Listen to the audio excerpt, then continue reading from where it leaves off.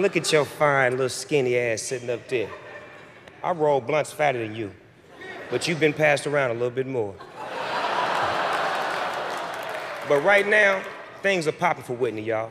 Everybody in Hollywood is talking about her, and they all saying the same thing. I think that bitch gave me herpes.